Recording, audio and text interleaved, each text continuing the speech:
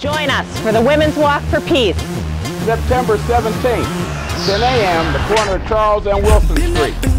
Followed by a day of activities in West Park with music by Grammy-nominated urban gospel group 2103, plus local artist Joy Ike, Artistree, Flo Wilson, and the Old School Band.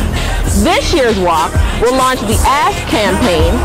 Join the community conversation on stopping violence at the source.